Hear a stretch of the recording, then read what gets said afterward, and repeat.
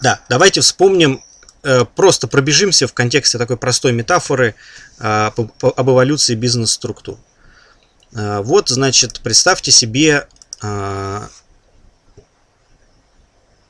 некий бежевый ад 90-х годов, когда разрешили предпринимательскую деятельность, но когда разрушаются все государственные структуры, когда увольняются люди из институтов научно-исследовательских, потому что нечему э, не, там не платят просто.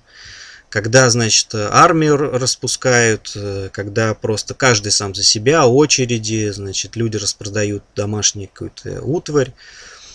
И вот представим себе некую семью Сидоровых, э, которая, значит, хочет выживать, потому что уже край.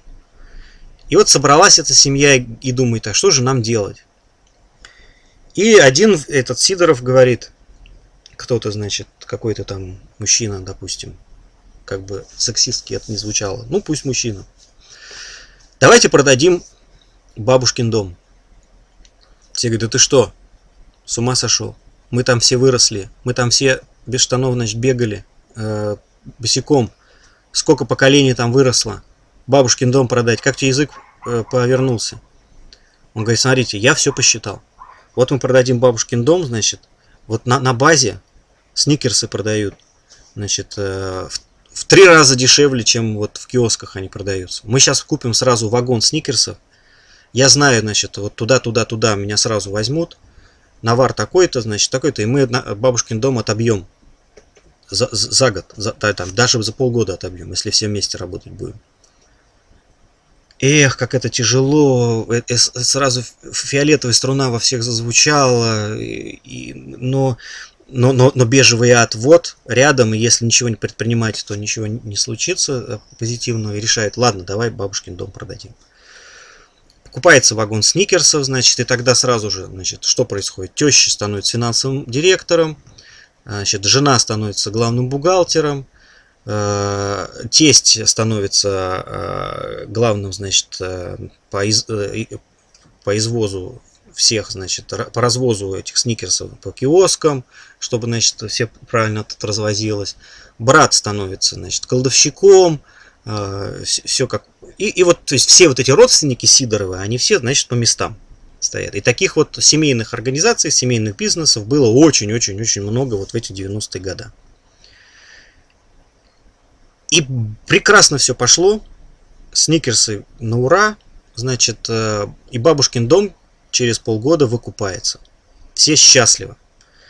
Все более-менее наелись. Все уже купили себе по машине.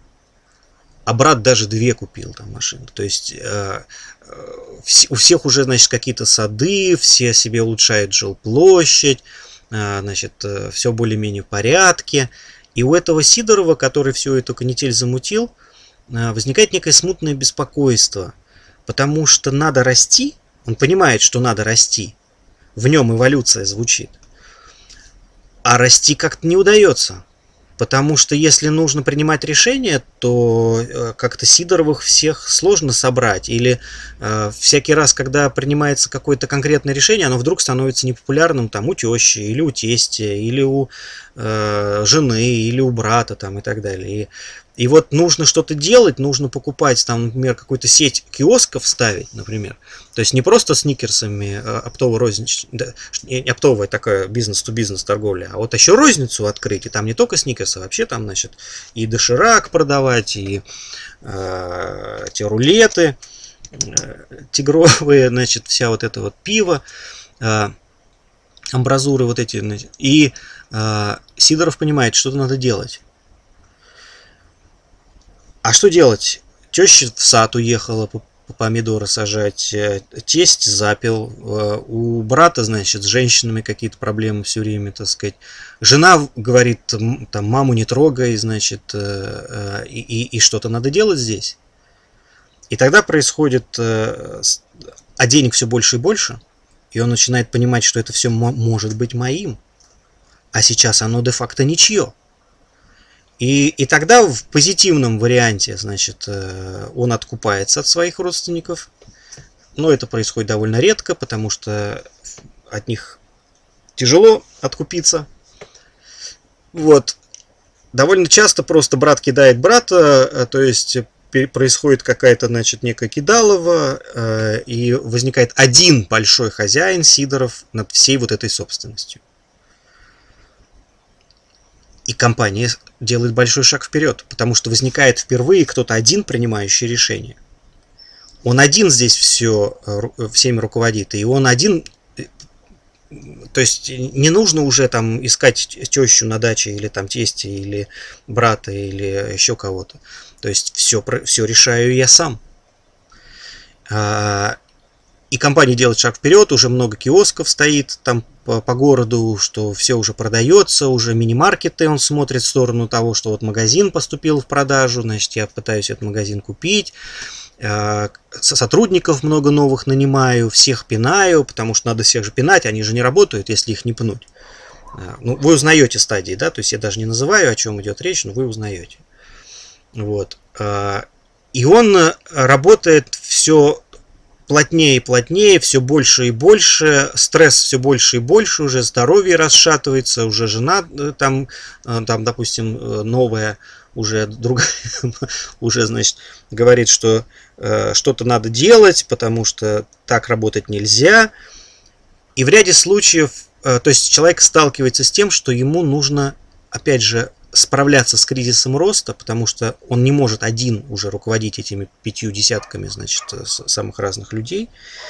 А сделать это можно только в том случае, если он нанимает какого-то второго менеджера если он нанимает какого-то партнера, а он помнит, что нельзя никому доверять, потому что э, в некотором смысле это для него теневая проекция. Про теневые проекции мы тоже с вами говорили.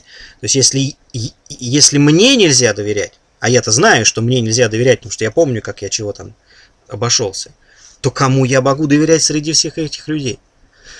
И вот это на красно-синем переходе находится довольно большое количество компаний в России, в России на постсоветском России до сих пор. То есть люди, которые создали все это сами, они худо-бедно пытаются этим управлять, они понимают, что все это в каком-то вялотекущем кризисе, но сделать с этим ничего нельзя, потому что мне придется переступить через себя. Мне придется научиться доверять э, протоколам, бумагам, договорам э, и так далее. То есть, и если я действительно доверяю, тогда я действительно делаю шаг вперед, тогда я нанимаю людей, нанимаю кого-то, значит, за опыт, кого-то за розницу, кого-то там за финансовую службу, кого-то еще за что-то отвечать. И у меня есть несколько критерий, и я руковожу только этими людьми. И компания делает шаг вперед, очень большой. Это уже какая-то ритейл-сеть, это уже там много магазинов, да и в других городах. И и возникает э, описание бизнес-процессов, возникают бумаги, возникают э, регламенты, возникают должностные инструкции, э, докладные записки, и все это так здорово, и все это работает. Но государство постоянно выпускает новые законы, возникают какие-то конкуренты, как грибы растут, возникают какие-то диверсии, что-то такое происходит, на что нужно очень срочно реагировать. А машина выстроенная, достаточно большая, неповоротливая, и делать с ней что-то нужно. И тогда Сидоров, э, Сидорову приходит в голову замечательная идея, которая, тем не менее, тоже преодолевает он достаточно большую трансформацию – что он понимает, что он управляет задним числом, что он все время управляет тем, что уже произошло, что тот учет, который он ведет, он совершенно не, не безумен, что нельзя управлять задним числом, что он видит только то, что уже случилось неделю назад, ему дают там отчеты какие-то бухгалтера. И что, а, а как же дальше, как я могу планировать на будущее? И он идет на семинары, ему рассказывают про ERP-системы, ему рассказывают про там, управление по целям, ему рассказывают про э, это как это бюджетирование, про э, это как ее KPI. Э, вот.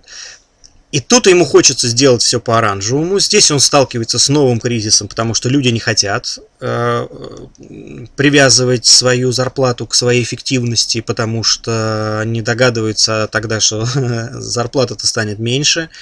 И людей таких найти, которые бы готовы были рискнуть и действовать действительно по-хорошему, таких людей не больно найдешь. Все у нас боятся начальства, а тут начальство бояться не надо, нужно действовать смело и прямо. Э, и вот это сложный кризис, который Сидорову, может быть, удастся преодолеть, и тогда он получит оранжевую систему с ERP, э, информационным управлением, с, с KPI целями, с проверенными сотрудниками, с потрясающей службой персонала, мудрейшей, умнейшей, который видит все и знает все, и который является, по сути, одним из центральных подразделений. В отличие от красного и от синего, роль службы персонала все, все, все выше и выше в, в оранжевых и в зеленых. А в зеленых системах это вообще э, номер один служба потому что вокруг нее вообще все вертится. То есть только э, найти зеленого сотрудника на эту какую-то должность, это совершенно невероятная задача, э, и это очень-очень важно и сложно, поэтому служба персонала становится как бы, службой номер один. Вот такая как бы краткая история бизнеса в России. Ну, потом э, Сидоров внезапно съездил на ретрит э, в Индию. Ему сказали, все у тебя есть, Сидоров, только просветления у тебя нет. Он говорит, нифига себе, а что это? А просветление, а, это что, можно получить? И говорит, конечно, вот смотри. Есть просветленный мастер, ездишь к нему там, значит, вот туда-то возвращаешься просветленным. Ну и если Сидорову действительно повезло с мастером, он что-то может такое почувствовать, что он никогда не чувствовал, и что, может быть, чему-то догадывался, о чем мы с вами тоже говорили. И тогда он, возвращаясь назад, и понимает, что он жить по-старому не может – что ему нужно что-то делать, что это все может быть очень красиво, что это может быть все очень мудро, глубоко и полезно, и нужно, и важно людям. И тогда он разворачивает все совсем иначе. А, и это еще один кризис, еще одна трансформация. И вот представить себе одного человека, прошедшего через все эти стадии, а, можно представить то, но реальных таких людей я просто не знаю, и я даже думаю, что, что их и нет вовсе, потому что это, это, это невероятная ситуация, чтобы мы могли это все вот так вот, вот э, реализовать. То есть это какой-то был у нас такой краткий экскурс в, в развитие, э, такой метафору бизнес-систем.